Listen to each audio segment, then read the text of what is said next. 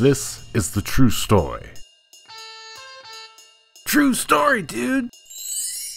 Of seven strangers. Picked to live in the sewer. To find out what happens when toys stop being polite.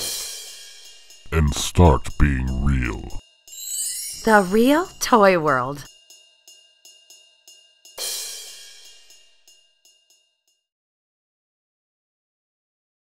My name is Darth Vader. I represent the supreme ruler of the universe, the Emperor.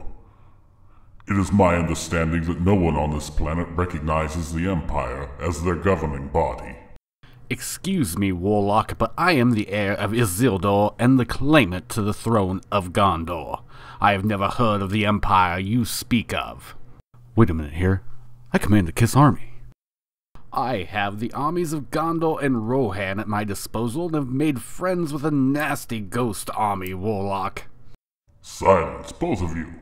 I am the master of the dark side of the Force. I command an endless army of stormtroopers all throughout this galaxy, and a space station powerful enough to destroy this entire planet.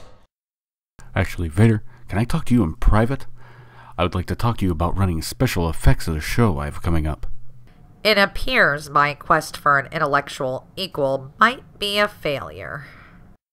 Hi, my name's Twilight Sparkle, and I think we can become great friends. Does anyone want to get pizza?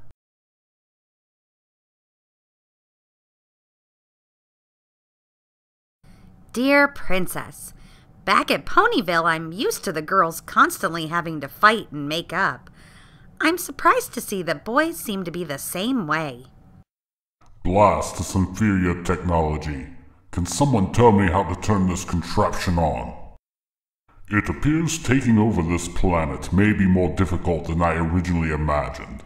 Gene and Aragorn both command mighty armies. I need to command the Death Star and mobilize my troops much quicker than I expected. Here you go, dude. Your allegiance will serve you well. Now I need to contact my space station to mobilize my troops. Yeah, dude, you can, like, check your Facebook on that thing. That's about it. Facebook? Gene, is it? Is everything okay? Perfect. Why? You've just been staring at me for like 45 minutes? Oh, I'm sorry. Um, I don't have many moving parts. I tend to stare. Um, you're just better scenery than staring at that wall over there. Thank you, I guess. I think I covered that up pretty well. Uh, I don't want her to think I'm weird. I think so far Mikey, Twilight, and Gene have been the friendliest. It's just that Gene is really weird. So you are doing studies on friendship?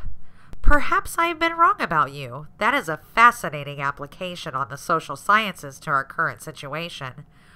Where are your findings published? I would quite like to read them. well, I just send my notes to the princess. Oh, so what have been some of your findings? That friendship is magic, of course. And to think, I was going to get out my psychology notebook and compare notes. Twilight Sparkle, Velma. I cannot shake the feeling that being surrounded by an orc and a demon man puts us in great danger, but this warlock Vader I fear is even more dangerous than the others. I fear we need to collect Yuna and mount our escape from this place. Why? I'm having fun. And we are contractually obligated to be here. I believe we have all been put under a curse to agree to come here, and I fear that mine has worn off much faster than all of the others. I need to find a way to break this vile curse. Hey, Yuna, I've been looking all over for you. What you been up to? Oh, nothing. I've been sneaking into the other room because I came to this world to learn new summons. I already have three, but I need to summon them often to strengthen our bond. I don't wish to startle the rest of my roommates. Whoa, Yuna, look out! Quiet! This is Godzilla, and he's my friend. There's no need to fear him. Godzilla dismissed. Whoa, that was totally radical, dude. Can you keep this between us? Whoa, you mean like I can't talk about like the coolest thing I've ever seen? If you keep my secret, I will share one of my favorite summons with you. And who's that? Summon Pizza Guy. Marshmallow peanut butter and bacon pizza for Yuna? Your secret is totally safe with me. Thank you. Pizza Guy dismissed. Like, I'm totally having the best day. Like, I saw that Yuna could summon big creatures, and then she was like, Oh, don't tell anyone else that I can do this, and I'll give you free pizza if you don't tell anyone else. And I. Oh, can I start over? I'm having a very average day.